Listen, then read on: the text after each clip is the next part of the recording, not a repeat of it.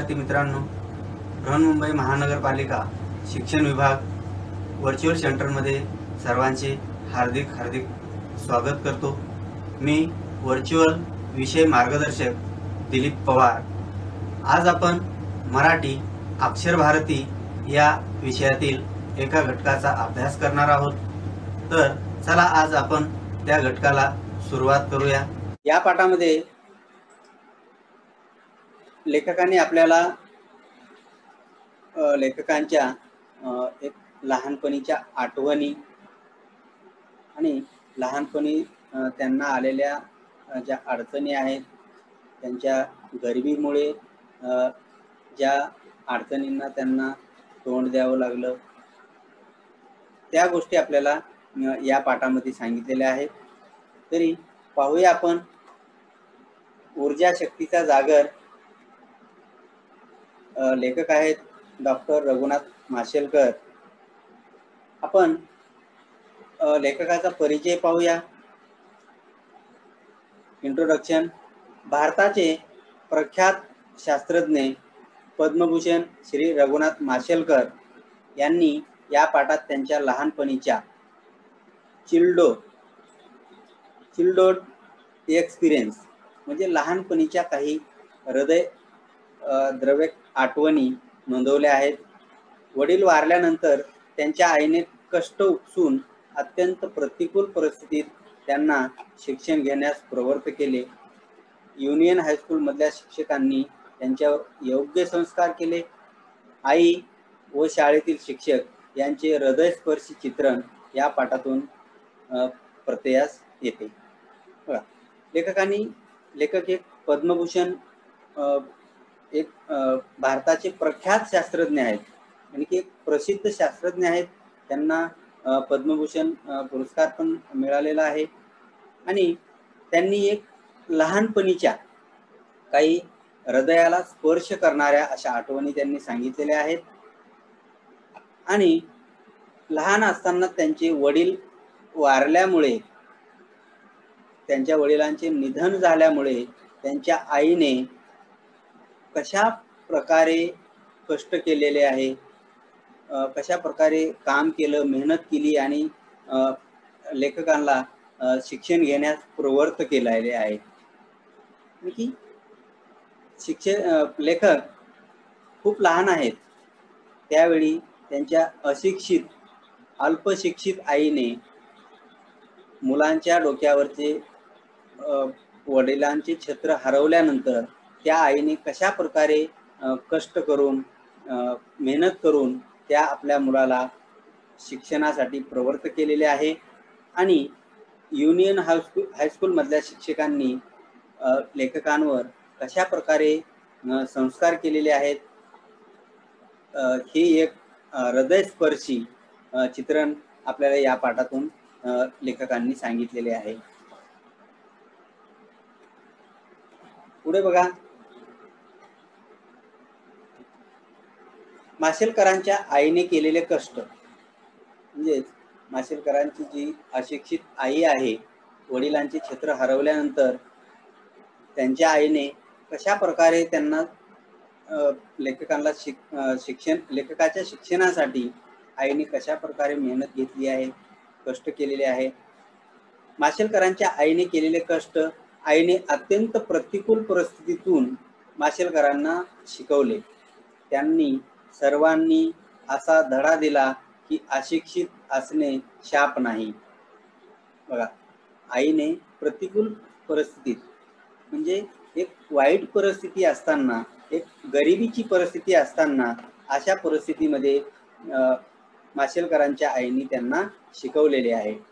आणि त्यावेळी सर्वांशी त्यांना एक असा धडा मिळाला की अशिक्षित आणि की एक अल्पशिक्षित आई आहे अशिक्षित आई आहे तर हा काही शाप नाही आहे हा काही गुन्हा नाही आहे मग मनाशी आपण ठरवले तर आपण कोणत्याही परिस्थितीत मात करू शकतो हेच त्यांनी आपल्या मुलाला शिकवताना आलेल्या कठीण प्रसंगाला तोंड देऊन उच्च शिक्षित केले. शिक्षण ही काळाची गरज आहे हे आपल्या सर्वांना शिकण्यासारखे आहे. लेखकाच्या आईने काय केलेले आहे? की आई एक अशिक्षित आहे अल्पशिक्षित आहे तरी सुद्धा त्यांनी आपल्या मनाशी ठरवून एक निश्चय करून की आपल्या मुलांना कुठल्याही परिस्थिती परिस्थितीवर परिस्थितीवर मात करून गरिबीशी संघर्ष करून आपल्या मुलाला कसं शिकवलं आहे? आणि त्यांनी कठीण कठीण प्रसंगाला तोंड देऊन उच्च शिक्षित केले. लेखकाला कशा प्रकारे त्यांनी उच्च शिक्षित केले आई एक अशिक्षित असताना सुद्धा एवढी गरिबी असताना सुद्धा त्यांनी आपल्या मुलाला एक शिक्षित केले आणि शिकवले. खूप शिकवले. आणि यामधून आपल्याला असा संदेश मिळतो की एक अशिक्षित आई असून सुद्धा शिक्षण ही काळाची गरज आहे हे आपल्या मुलांना शिकवल्यानंतर शिकवल्यामुळे हे यातून आपल्याला संदेश मिळतो की एक शिक्षण ही काळाची गरज आहे हे आपल्या सर्वांना शिकण्यासारखे आहे. म्हणजेच या पाठामध्ये लेखकाच्या आईला जो काही अनुभव आला शिक्षणामुळे त्यांना जे काही भोगावे लागले त्यामुळे त्या लेखकाच्या आईने आई सांगते की शिक्षण ही एक काळाची गरज आहे. हा संदेश आपल्याला या पाठातून मिळत आहे. अंजली माशेलकर हे डॉक्टर रघुनाथ माशेलकर यांच्या आई आहेत. अंजली माशेलकर. पुढे बघूया माशेलकरांचा परिचय. बघा आंतरराष्ट्रीय ख्यातीचे ज्येष्ठ वै वैज्ञानिक आहेत. त्यानंतर ग्लोबल रिसर्च आला यांचे अध्यक्ष आहेत. रॉयल सोसायटी लंडनचे फेलो. त्यानंतर पद्मविभूषण पुरस्काराने सन्मानित झालेले आहेत. आणि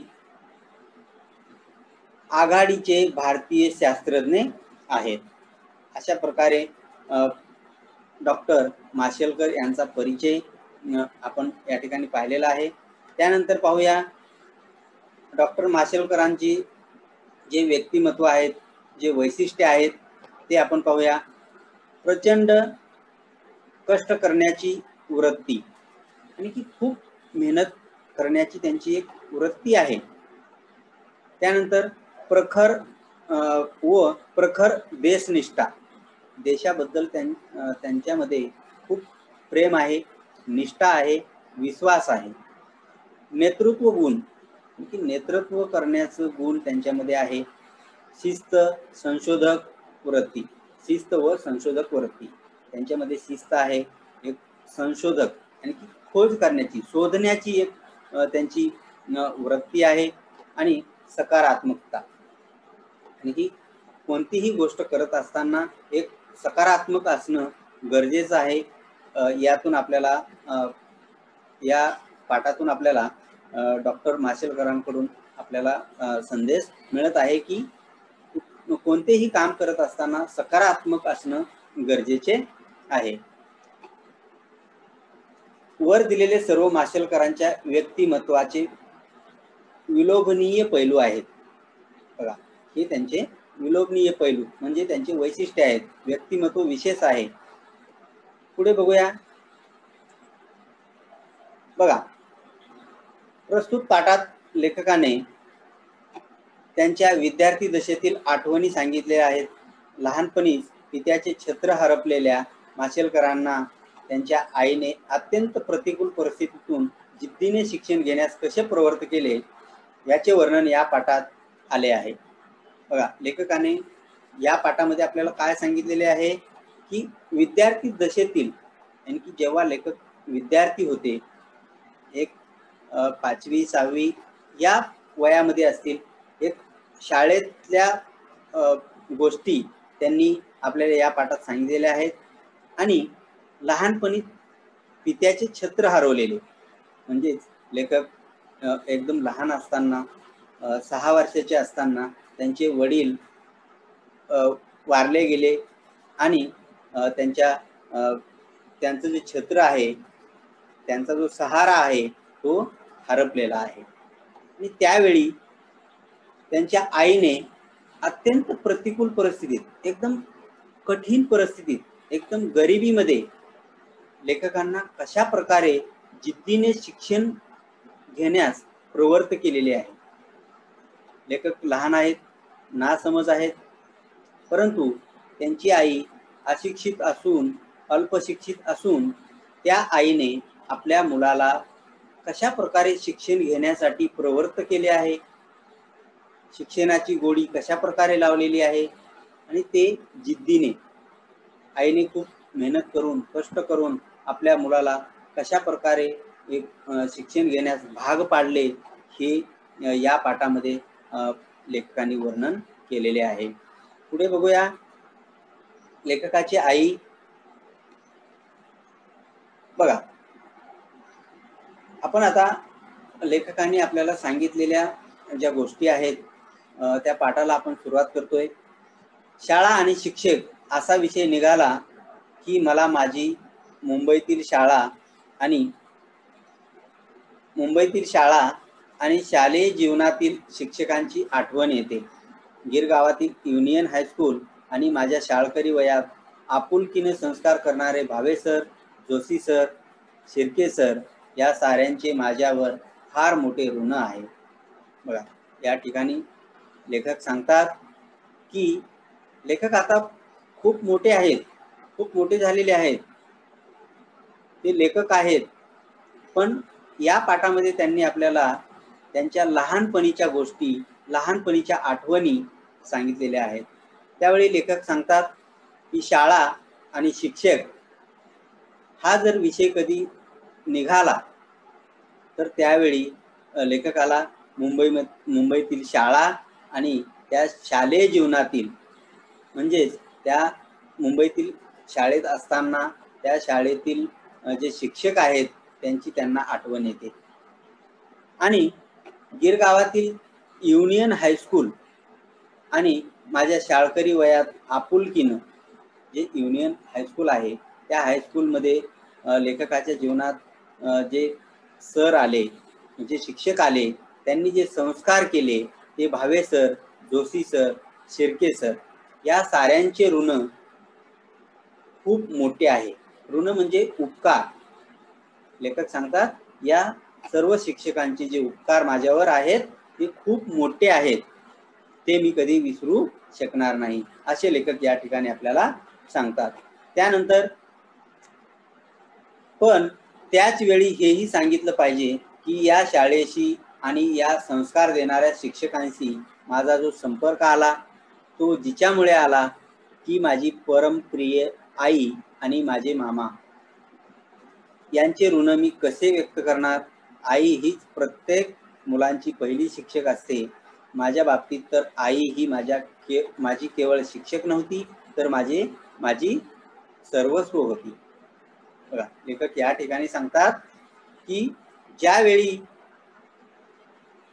ते शाळेत ज्यावेळी ते मुंबईला आले त्यावेळी लेखक सांगतात की हेही सांगितलं पाहिजे की आणखी काही गोष्टी आहेत माझ्याकडं की ज्यावेळी मी शाळा आणि हे संस्कार देणारे शिक्षक मला भेटले त्यांचा जो संपर्क झाला तो कोणामुळे झाला तो कशामुळे झाला तर तो माझी आई माझी परमप्रिय आई आणि माझे मामा या दोघांमुळेच हे संस्कार देणारे शिक्षक मला भेटले.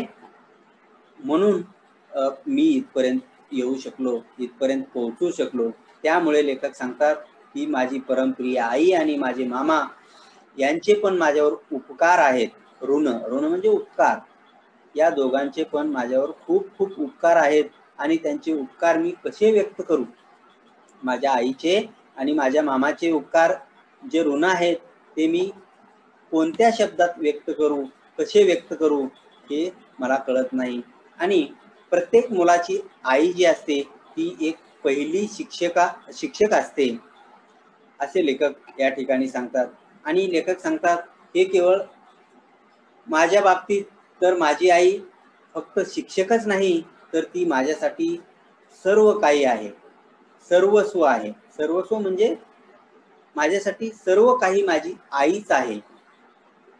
असे लेखक या ठिकाणी आपल्याला आईबद्दल आईची स्तुती करत असताना आईबद्दल दोन गोष्टी सांगत असताना ते आपल्याला सांगतात की आई माझी फक्त शिक्षकच नाही तर आई माझ्यासाठी सर्वस्व आहे असे लेखक आपल्याला या ठिकाणी सांगत आहेत. पुढे बघा. आमचे मूळ गाव माशेल. आमचे मूळ गाव दक्षिण गोव्यातील माशेल. माझे बालपण तिथेच गेले. माझे मामाही याच गावातले. तिथल्या एका मैदानावर खेळल्याच्या आणि पिंपळ कट्ट्यावर बसून निवांतपणा अनुभवल्याच्या उसटशा आठवणी माझ्या मनात अधूनमधून वाऱ्याच्या लहरीसारख्या येत असतात. माझ्या वयाच्या सहाव्या वर्षी माझे वडील वारले आणि आम्हाला उदरनिर्वाहासाठी आमचे माशेल हे गाव सोडावे लागले. मी आणि माझी आई मुंबईत पोहोचलो. बघा लेखकाचे जे मूळ गाव आहे दक्षिण गोव्यामध्ये माशेल माशेल नावाचे गाव आहे. आणि त्या गावामध्येच त्यांचे बालपण गेलेले आहे. आणि त्यांचे मामाही त्याच गावचे. माशेल गाव गावामध्येच त्यांचे मामा सुद्धा होते. त्याच गावचे त्यांचे मामा आहेत. आणि त्या गावामधील मैदानावर खेळलेले आणि मैदानावर एक पिंपळ कट्ट्यावर बसून म्हणजे पिंपळाचं झाड असेल आणि त्या झाडा झाडाभोवती एक कट्टा असेल. आपण बसतो ना कट्ट्यावरती बसून गप्पा मारतो. अशा प्रकारे त्या पिंपळाच्या झाडाचा जो झाडाखाली जो कट्टा बांधलेला आहे आणि त्या पिंपळ कट्ट्यावर बसून ज्या गप्पा मारलेल्या आहेत ज्या गोष्टी केलेल्या आहेत त्या अजून सुद्धा लेखकाला आठवतात. आणि त्या पिंपळ कट्ट्यावर बसून निवांतपणा अनुभवल्याच्या आणि की त्या झाडाखाली बसल्यानंतर एक निवांत रिलॅक्स असं त्यांना आणखी सुद्धा त्याचा अनुभव येत आहे. आणि अशा पुसटशा आठवणी त्यांच्या मनात अधूनमधून कधी कधी त्या आठवणी त्यांच्या मनामध्ये वाऱ्याच्या लहरीसारख्या. म्हणजे की जसा वारा वाऱ्याची लहर असते त्याप्रमाणे त्यांच्या मनामध्ये अधूनमधून या आठवणी येत असतात.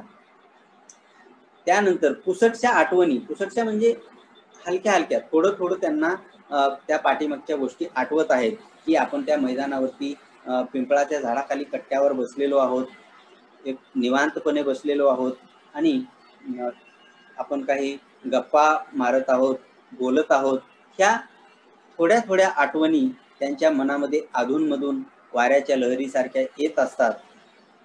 त्यानंतर माझ्या वयाच्या सहाव्या वर्षी माझे वडील वारले आणि आम्हाला उदरनिर्वाहासाठी आमचे माशेर हे गाव सोडावे लागले. बघा लेखका लेखक सहा वर्षाचे असताना त्यांचे वडील वारले आणि वडील वारल्यानंतर गावात उदरनिर्वाहासाठी म्हणजेच पोट भरण्यासाठी काही साधन नसल्यामुळे लेखक आणि त्यांची आई त्यांना माशेल हे गाव सोडावे लागले आणि उदरनिर्वाहासाठी त्यांनी मुंबईला ते आलेले आहेत. मुंबईमध्ये येऊन पोहोचलेले आहेत.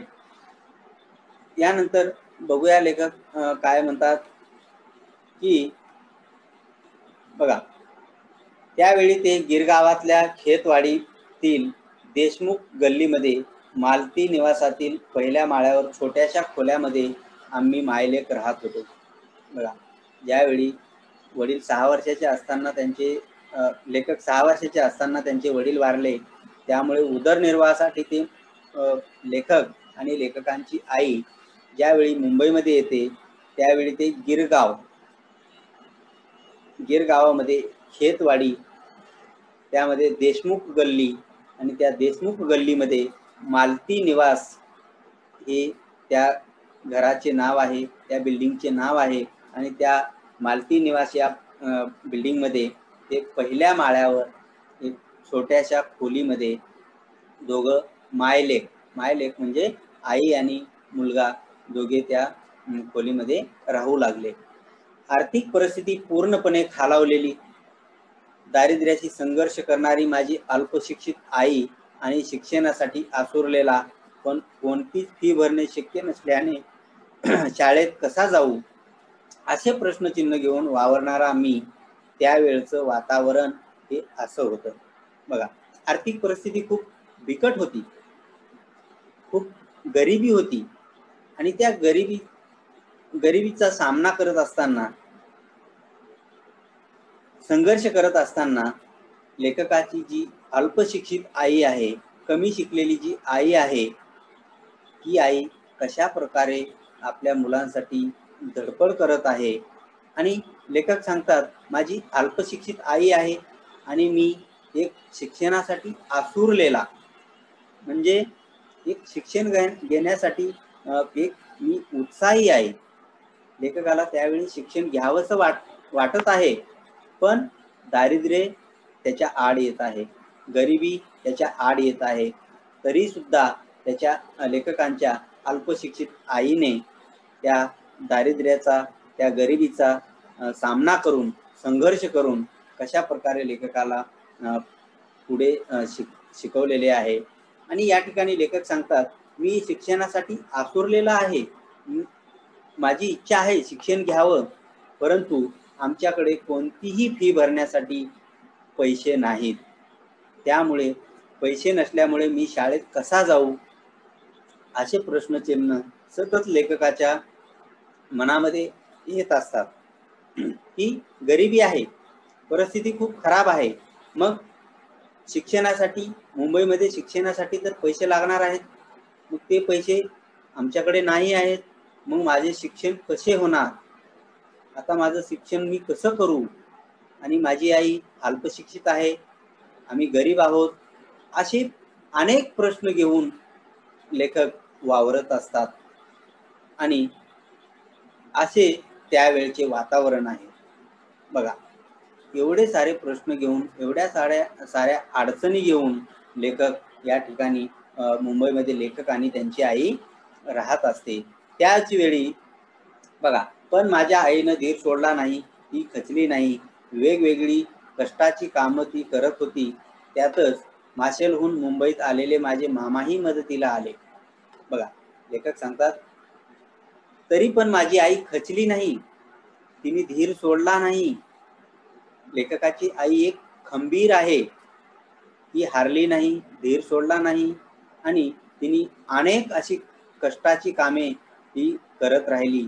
आणि त्याच वेळी माशेलहून मुंबईला लेखकांचे मामा सुद्धा आलेले आहेत आणि त्यावेळी मामाने लेखकाला मदत केलेली आहे. आणि त्यांच्यामुळे मला खेतवाडीतील प्राथमिक शाळेत प्रवेश मिळू शकला. ही शाळा महापालिकेची होती.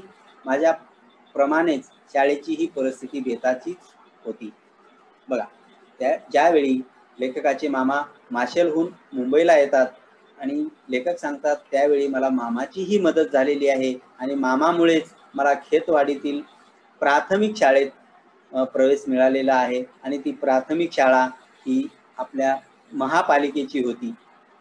आणि या महापालि महापालिकेच्या शाळेची परिस्थिती कशी होती लेखक सांगतात? की माझ्यासारखीच होती. मी जसा गरीब आहे तशीच माझी जी पालिकेची शाळा आहे जी खेतवाडीतील शाळा आहे ती सुद्धा माझ्यासारखीच गरीब आहे असे लेखक या ठिकाणी सांगतात. पण इथले शिक्षक मात्र मनानं खूप श्रीमंत होते. पायात चप्पलही घालायला नव्हती. अशा परिस्थितीत माझी शाळा सुरू होती. वयाच्या बाराव्या वर्षापर्यंत मला अनवानीच राहावं लागलं. बघा लेखक या ठिकाणी सांगतात की शाळा ही माझ्यासारखीच गरीब होती. शाळेची ही परिस्थिती माझ्यासारखीच बेताचीच होती. परंतु या ठिकाणी इथले जे शिक्षक आहेत ते मात्र मनानं खूप श्रीमंत होते. म्हणजे या शाळेतील जे शिक्षक होते ते खूप मनानं असे श्रीमंत होते. खूप चांगले होते. आणि या शिक्षकांमुळेच मला खूप मदत झाली. आणि त्यावेळी माझ्या पायात पायात चप्पल घालायला नव्हती. आणखी लेखकाला त्यावेळी सुद्धा गरिबीमुळे पैसे नसल्यामुळे त्यांच्या पायात घालायला चप्पल सुद्धा त्यांच्याकडे नव्हती. आणि अशा परिस्थितीत त्यांची शाळा सुरू झाली. आणि शाळा सुरू झाल्यानंतर लेखक सांगतात की वयाच्या बाराव्या वर्षापर्यंत मला अनवाणीच राहावं लागलं. अनवाणी अनवाणी मतलब म्हणजे चप्पल न घालता चालणे. नंगे पाय म्हणजे बाराव्या वर्षापर्यंत लेखकाला चप्पल पायामध्ये लेखकाच्या पायामध्ये चप्पल नव्हती. याचं कारण आहे त्यांची गरिबी. पैसे नसल्यामुळे ते चप्पल खरेदी करू शकले नाहीत. त्यामुळे ते वयाच्या बाराव्या वर्षापर्यंत बिना चप्पलचे चालतात. पुढे बघा. शालेय शिक्षण पूर्ण केल्यानंतर जेव्हा हायस्कूलमध्ये प्रवेश घेण्याची वेळ आली त्यावेळी तर आणखी एक मोठं संकट समोर आलं. त्यावेळची हायस्कूलची प्रवेश फी एकवीस रुपये होती. पण आमच्याजवळ एवढे पैसे कुठून येणार? प्रवेश फी भरणे शक्य नसल्यामुळे आता माझे शिक्षण थांबणार असे वाटू लागले. बघा यावेळी लेखक या ठिकाणी आपल्याला सांगतात की शालेय शिक्षण पूर्ण झाल्यानंतर ते हायस्कूल हायस्कूलमध्ये त्यांना प्रवेश घ्यायचा आहे.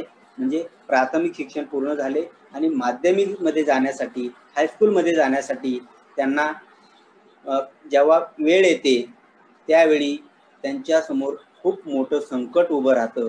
ते संकट म्हणजे हायस्कूलमध्ये एकवीस रुपये फी भरायची असती. एकवीस रुपये ट्वेंटी वन बघा त्यावेळची परिस्थिती कशी होती?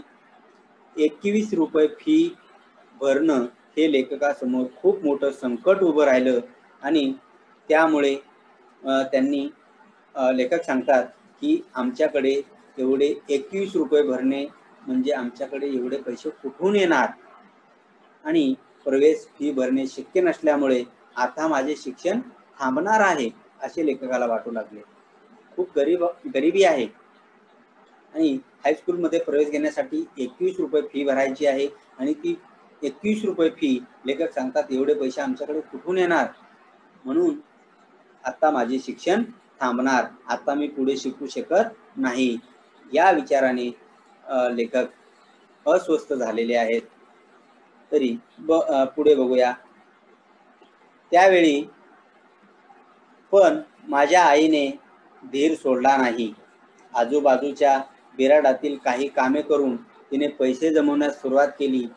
त्याच वेळी तिच्या परिचयातील एक माऊली मदतीला धावली आणि माझ्या प्रवेश फीची व्यवस्था झाली. पण तोपर्यंत गिरगावातील त्यावेळच्या नामांकित शाळामधले प्रवेश बंद झाले होते. बघा यावेळी लेखक सांगतात की पण माझी आई खचली नाही हारली नाही माझ्या आईने धीर सोडला नाही. माझ्या आईने आजूबाजूच्या बिराडातील बिराडातील म्हणजे आजूबाजूचा जो परिसर आहे आजूबाजूचे जे कुटुंब आहेत घर आहेत त्या घरामध्ये मिळेल ते काम तिने करून पैसे जमवण्यास तिने सुरुवात केली.